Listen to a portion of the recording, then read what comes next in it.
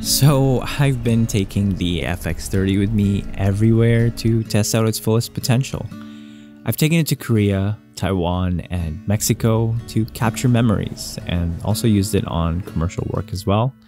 And surprisingly, this camera can do 99% of what the FX3 can do, at least for my use case. You get better low light on the FX3, but other than that, the FX30 still competes pretty hard with the FX3. The potential coming out of this camera is just amazing for its price. So today, I want to share how I color grade and how you can make the footage look beautiful coming from the FX30.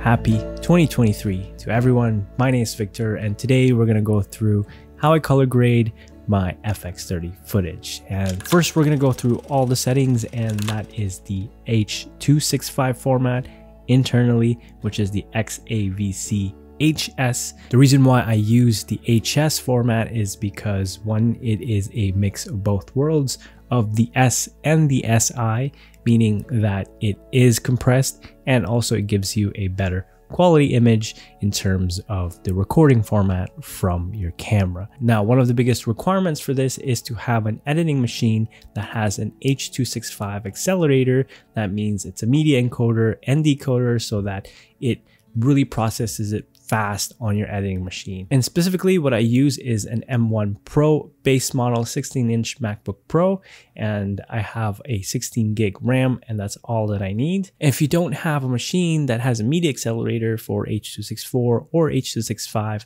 I suggest using the SI format because it's going to give you the most uncompressed footage from your camera but that means that it's going to give you larger file size but it also is easier on your editing machine because your machine doesn't need to always decode and encode the files while you're editing. Now let's talk about exposure. For the FX30 and the FX3, I use Cine EI mode on EI 400 on the base ISO of 800. 90% of the time, nighttime and daytime, I usually leave it at zero on the metering so that I have a good range on the shadows and also a good range on the highlights. Now, if you're using an A7 IV or something that doesn't have a Cine EI shooting mode, or if you just want to use flexible ISO mode, it's just sticking to the base ISOs of your camera on S-Log3. And for my cameras, the FX30 and the A7 IV, that is 800 base ISO. And then for the FX30, 2500 is the second base ISO.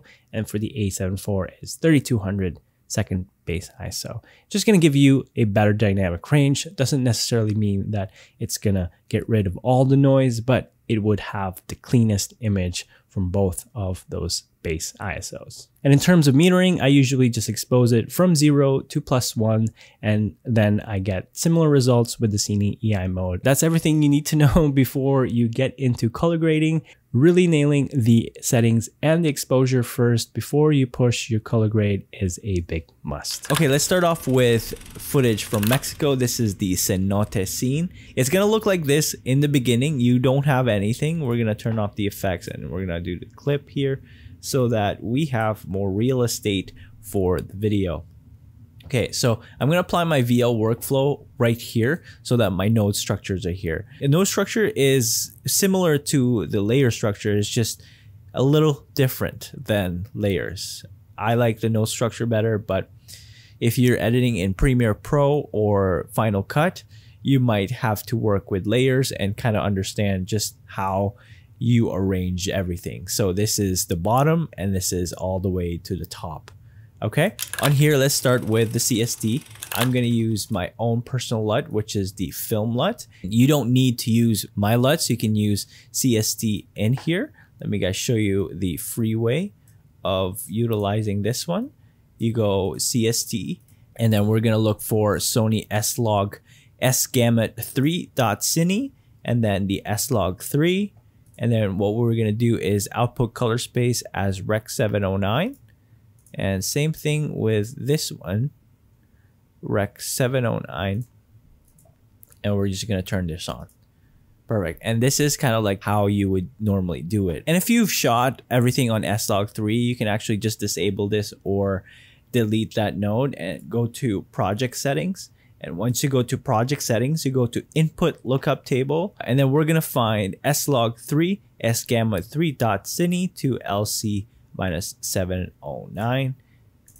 And it's pretty much gonna be the same thing. And it's just gonna apply it to all of your footage instead of you manually doing it on every footage. So since I've developed my own LUTs, I'm to use it because I love using my LUTs. I developed it for my style and that we're to use it all throughout in this tutorial. And you also have the free version or whatever conversion LUTs that you want to use in your videos. So let's get started. This is the my conversion LUT and I'm just going to add maybe two points of green. That's a little bit too much. So I'm going to go with 26 and a touch because in the cenote, what happened is that there's a lot of greens reflecting through these mossy rocks and the trees as well.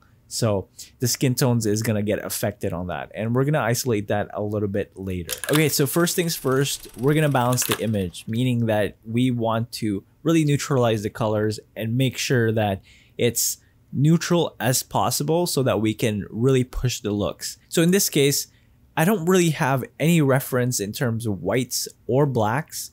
Uh, what we can do is kind of just neutralize the blacks and maybe the whites on here. So it's not having any color cast on the neutral tones so we know we're balanced. What we're gonna do is we're gonna neutralize the whites on my hair and the blacks on my hair because this is the only reference point that I have. Right click and then you're gonna go show picker RGB value and we're just gonna go to qualifier so you can see the value. So far, I'm just gonna get an average of what color is missing.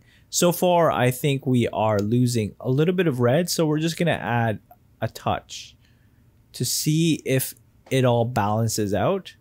6, 8, 10, 11. We're almost all even. So I'm just going to leave it at that. Again, we don't have a card here. This is a travel video. So we're just going to eyeball it as best as we can with the tools that we have in DaVinci. Okay, so now I'm going to try and see if I'm missing anything on the white values. 78 may be less green to here. Perfect. Okay.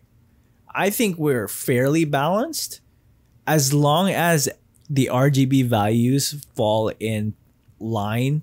Now we're going to go with white balance. What we're going to do now is we're just going to add a little bit of warm cast in there because it was casting some orangey tones when the sun was hitting us inside the cenote. From here on, I'm just gonna leave the skin for now because we're gonna do heavy grading later, and we're this is the adjustment for the skin tones. So far, if we go to vector scope, we can see that it's almost at the skin tone line. The reason why I'm leaving it first because I want to see how it looks later. My skin tone is a little bit reddish and it falls under this line. It's not directly on this line because it's going to get us somewhere like uh if we touch this it's gonna give me like really reddish skin tones and that's not my skin tone. My skin tone is a little just under it.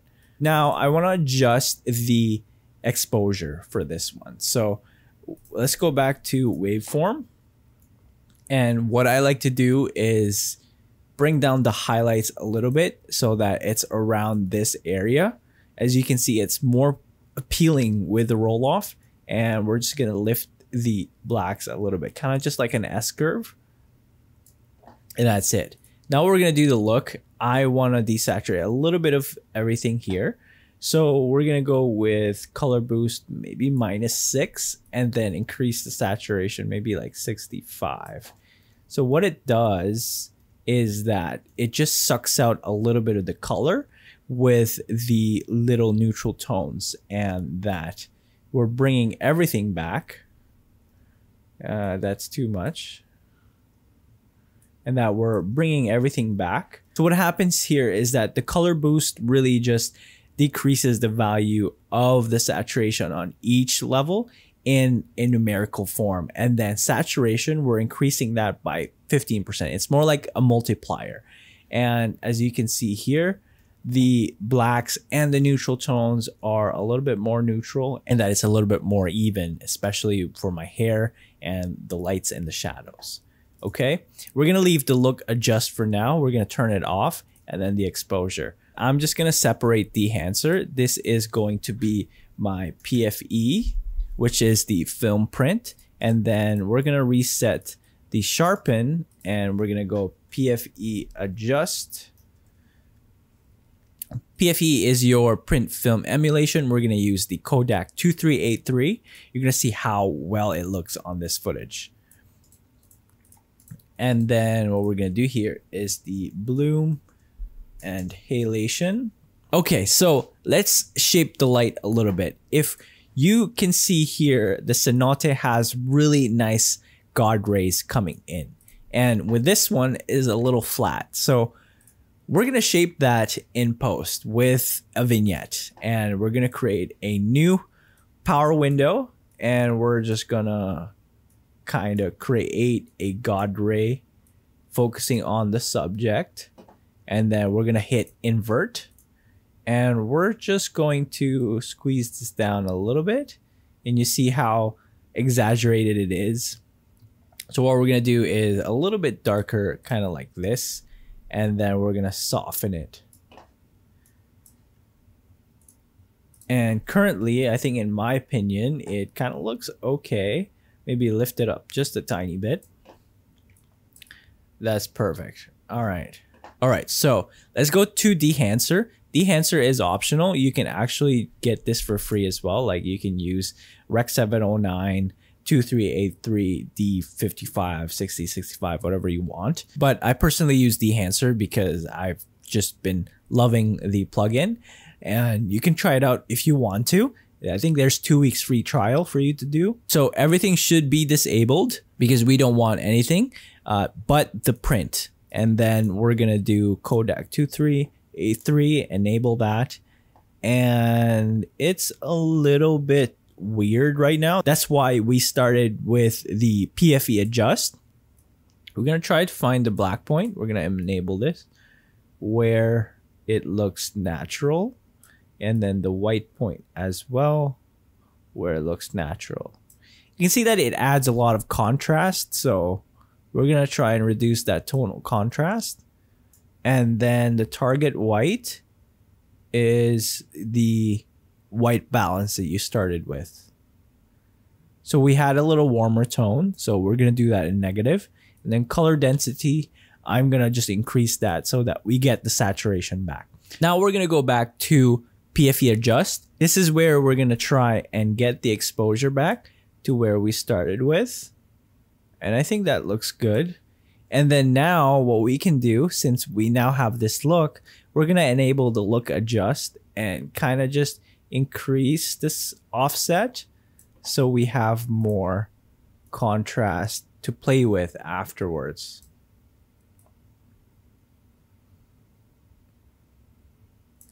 Okay, so that's good. Perfect.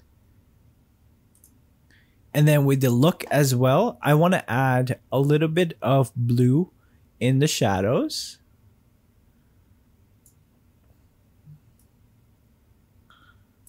Perfect. And then some green cast to it.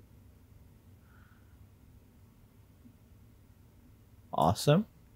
And then from the PFE adjust, what happens if you do the print film emulation, the Kodak 2383? We can increase the saturation because it sucks it out. Perfect. That's good. So now without the PFE, it looks like this. It looks normal, but with the PFE is a little more stylized.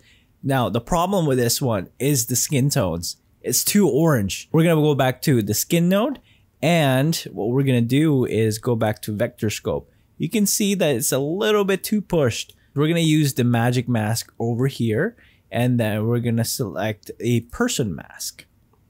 And then we're just to use this tool, just draw a line and it should automatically find it for us. And to see where it's clipping, and it's already masked the person in the video. After it loaded up the mask, we're just gonna smoothen the edges so that it's not too obvious when we change colors. So we're gonna do blur radius a little bit more and then denoise it clean black, clean white. We're gonna add, we're gonna do the radius, maybe grow. No, we're gonna shrink it. And then we're just gonna keep blurring it so that the edges are softer. And then denoise for sure. What I do is that we're just gonna magic mask everything. but now it's gonna follow the subject.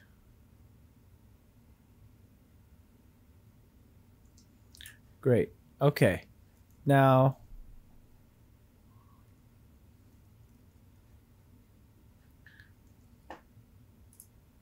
now what we can do here is that bringing everything back and that looks perfect. Now I can see that it's just right below the skin tone line and if we push it to the skin tone line, I just become more magenta or pinkish, and I don't want that.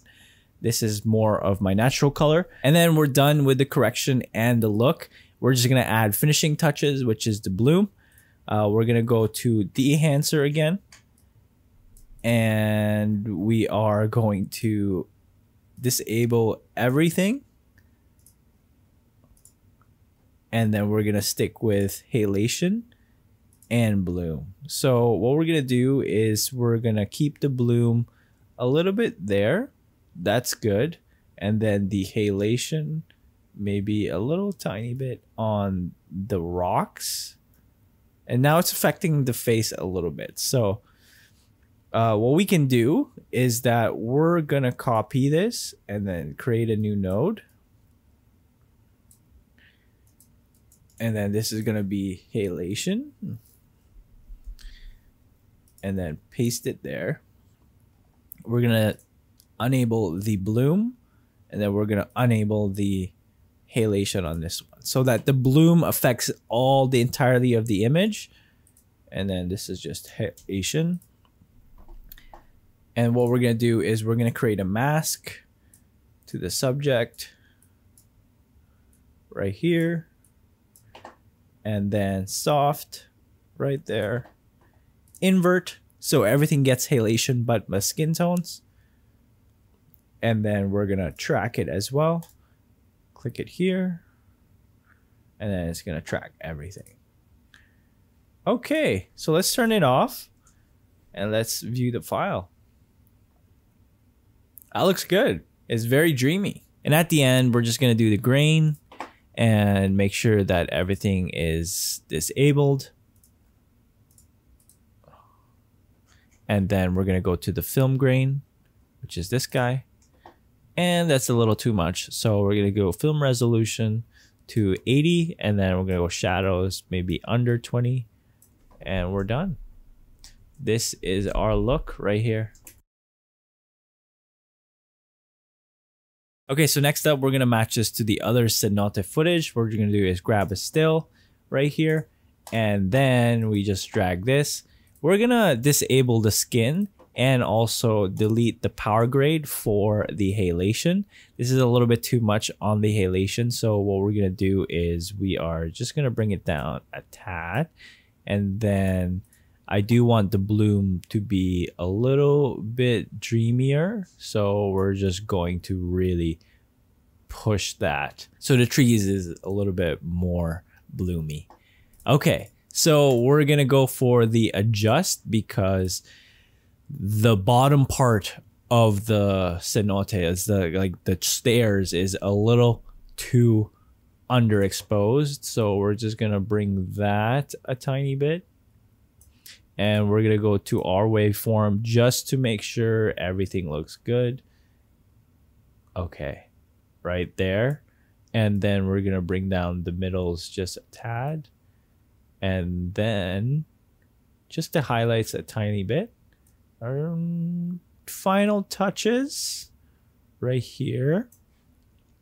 And what I want to do is add another adjust here for the stairs. I mean, you can do this on a parallel node or something. I'm just showing you guys how I step by step do this. And we are going to go to hue versus uh, hue versus saturation, and we're gonna get that red color, and we're just gonna increase the saturation so it bumps up so it pops a little bit more because without it it's looking a little dull. And with it now we have some leading lines and contrasting to the blue and the green as well. Okay so now what we can do is grab this still because we're to do the same thing with this shot. And as you can see this is a little bit better. We're just to delete the stair adjustment because it's pushing a little bit of the colors on there and all I have to do is go back to the adjustment layer and make sure that we're and make sure that we have good exposure on this one. The cenote was a little dark and that I wanted to have a moody look, high contrast look with the sun rays hitting the pool. So now this is our footage, all three footage. And then what we can do actually here is that crush it just a tiny bit so it matches the mood of these two shots. Now we're gonna move on to the nighttime shots in Taiwan. And let me show you guys how to quickly grade this. And we're just gonna go on to my power grade again. VL workflow. And this is quite easy. So let's go to CST what we're gonna do is we're gonna do add the film LUT and then add the green tint to it perfect. Now, as you can see that the highlights and the shadows are a little bit crushed. So we're gonna go to the adjust. We're gonna ignore everything else. We're gonna quickly grade this to show you guys how I can easily manipulate the footage without even like fully analyzing everything. I mean, the grade can be pushed, but for me, especially for YouTube, it needs to be fast. And with this one, we're gonna decrease the highlights with the curves. You can also do it here for more accuracy, but I usually do curves for YouTube work. And uh, as you can see here, we're actually gonna go to the parade here.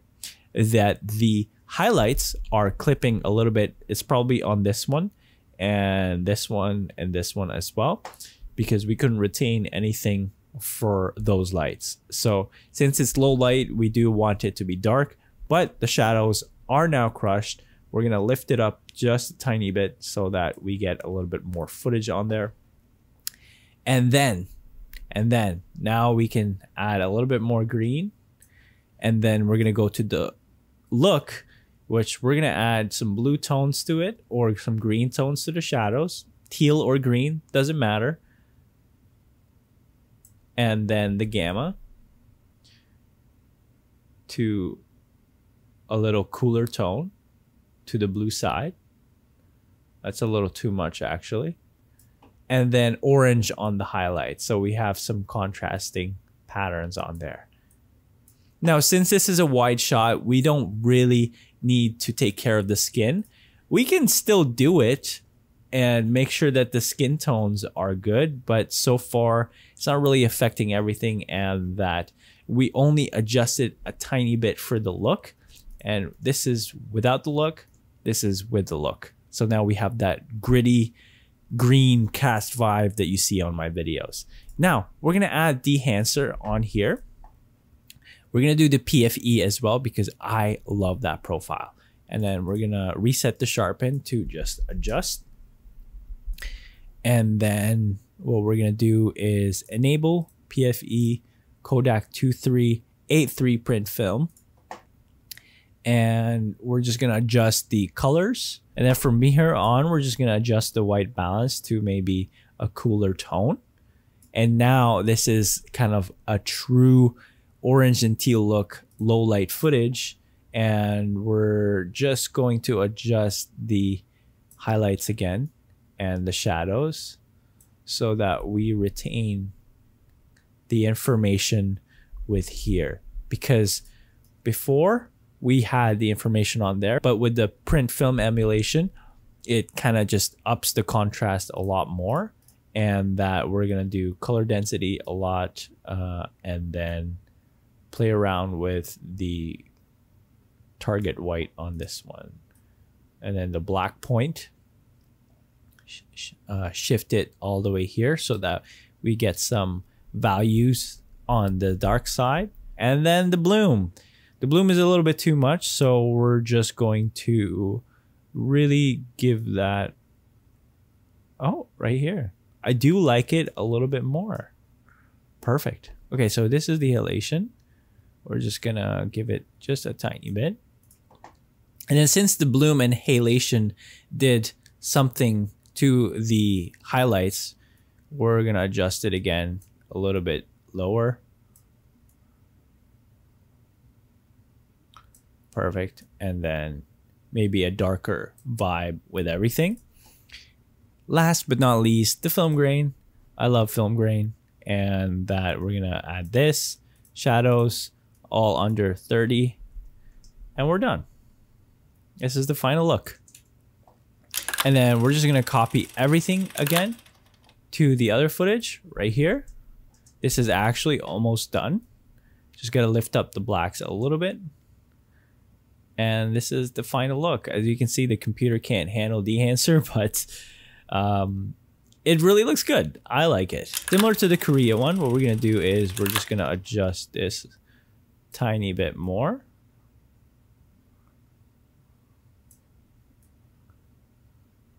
Okay, that's good. Perfect. And then we're just gonna push the greens a little bit more on this one right there. Perfect. And now we're going to adjust the skin tones because now it's too green. Okay, and then this one. That's perfect. Okay, so I'm just going to eyeball it. And what we can actually do is this. Perfect. So the skin tones is kind of back to normal. And now you have this orange and teal or kind of just green subway look into this video. Uh, it's a little saturated in my taste. And her skin tone is actually closer to yellow. And what we're going to do is going to go use saturation, give it just a negative value on there. And then there you go. We're looking at a super green cast and then apply the skin adjustment. We're looking at normal skin tones again with a little green cast to it. So fine, it looks good what it is. And then we're just gonna do the same here.